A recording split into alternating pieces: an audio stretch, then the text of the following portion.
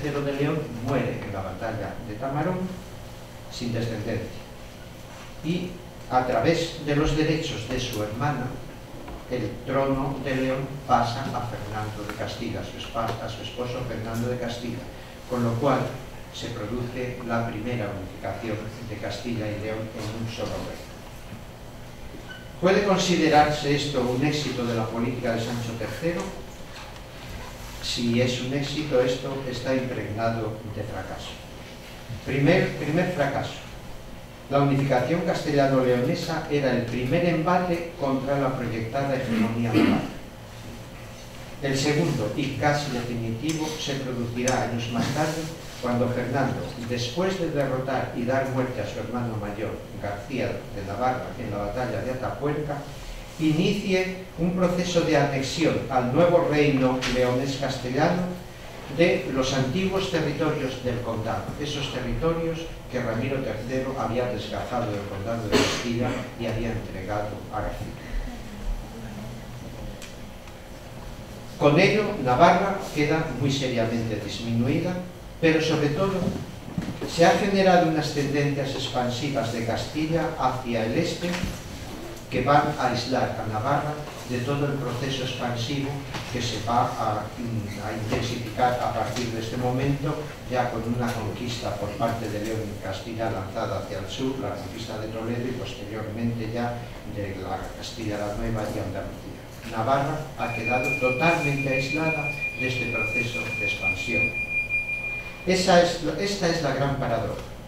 Cómo unos procesos históricos desarrollados en territorios periféricos han provocado la transformación de esos espacios fronterizos en una nueva formación y en un nuevo dinamismo que la llevará a alcanzar en muy poco tiempo la completa hegemonía política y militar en el conjunto de la península ibérica el fracaso del diseño forjado por uno de los más grandes monarcas de la Alta Edad Media peninsular, que es Sancho III de Navarra, obliga a reflexionar sobre la vigorosa fecundidad de las sociedades de frontera que en medio de turbulencias y conflictos, o quizás debido a ellos, son capaces de generar formas originales y poderosas de organización social y política. Muchas gracias.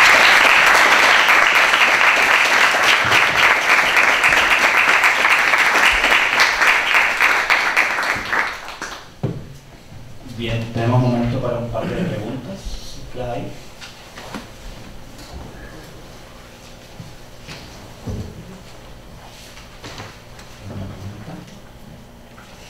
En todo caso, yo quería, eh, quería plantearte, aunque es un poco tangencial al, contenido de tu, de tu, exposición, pero mmm, quería preguntar por la, por la figura de Fernando González.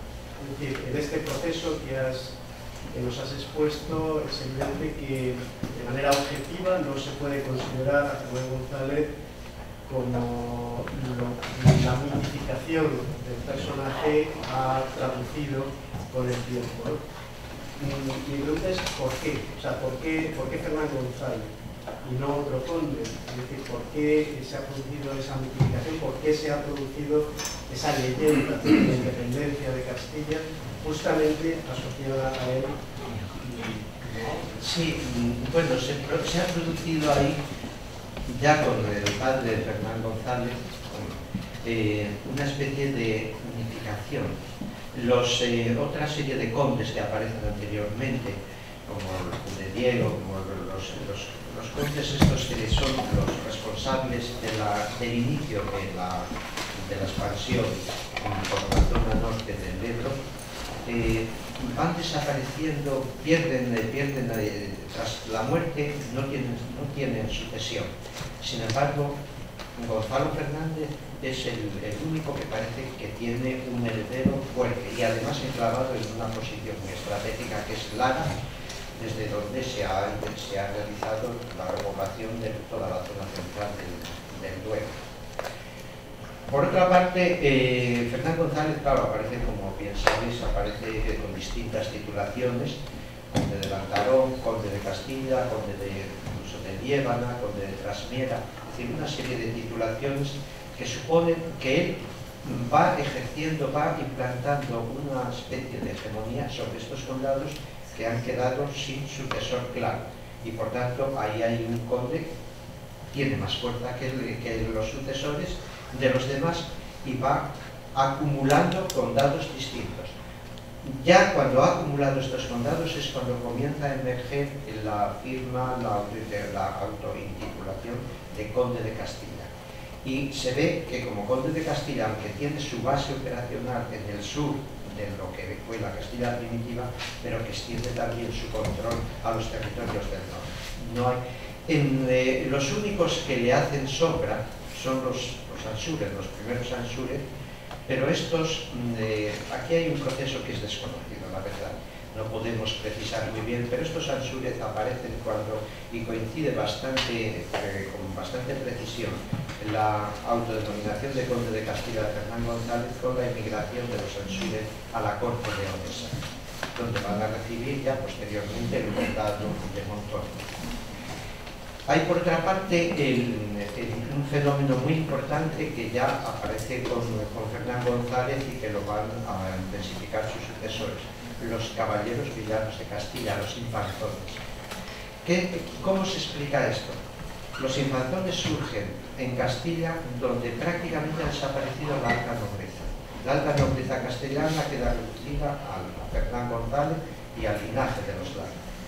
Y esto es la forma de crear una nobleza, una caballería de combate en una zona de frontera pero que tiene que recurrir a estos infanzones, es decir, a campesinos enriquecidos, campesinos que pueden adquirir caballo, que pueden adquirir armamento, que pueden combatir, que tienen intereses económicos en controlar los espacios del Alto Duero y del sur del Alto Duero, los accesos al sistema central, para sustituir la fuerza de choque militar que supondría la alta nobleza, con la que no puede contar Fernando y aquí se produce no he querido aludir por no, meterme en muchas más complicaciones dado la limitación de tiempo, pero hay una clara diferencia entre lo que es la estructura militar y la estructura social de Castilla respecto de la zona leonesa.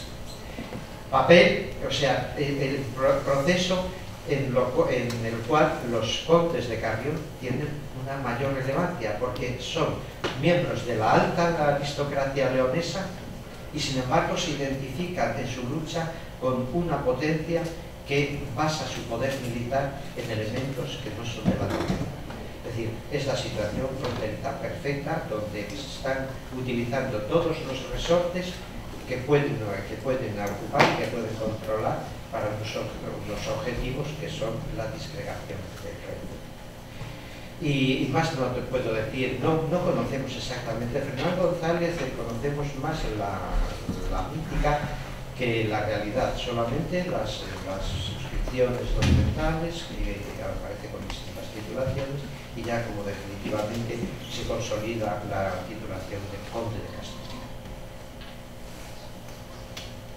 ¿Alguna otra consulta? ¿Una otra pregunta? ¿Puedo en relación a la pregunta del profesor, eh, recuerdo que dentro de las leyendas del origen de Castilla aparece también la figura de unos jueces, de que Castilla fue gobernada en algún momento por jueces, antes, no sé si antes que por condes o algo así. ¿Eso refleja, más, son solo una leyenda o reflejan algunas Eso te puede contestar, te puede responder mejor el profesor Carlos Aldealcázar, que ha desarrollado el tema. Bueno, no, simplemente eh, aludir a, es, es, esta es una conformación legendaria también y eh, que arranca eh, en una época ya un tanto posterior, es decir, la referencia a los jueces de Castilla eh, prácticamente no se documenta seriamente antes del Liber Regum. El Liber Regum es una, bueno, es una suerte de, de, de crónica eh, que hay que fichar hacia 1200. Y es ahí sobre bueno, pues el intento de fundamentar legitimidades eh, ajenas a lo que es la línea eh, leonesa en Castilla, cuando surge la figura identificada de estos, de ¿Alguna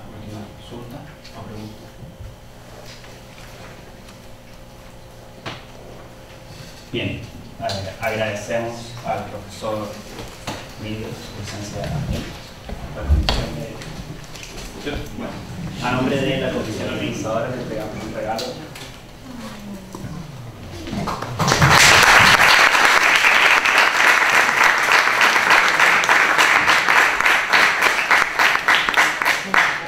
Eh, ahora eh, vamos a hacer un receso de almuerzo y los invitamos eh, de vuelta a las tres y media para la mesa número 2 de ponencia. Tengo, tengo una manía que es no romper los papeles. Pero tendré que romperlo para que vean todos regalos. Y yo agradezco. Oh, esto es una invitación también. Era la obligación de volver a morir.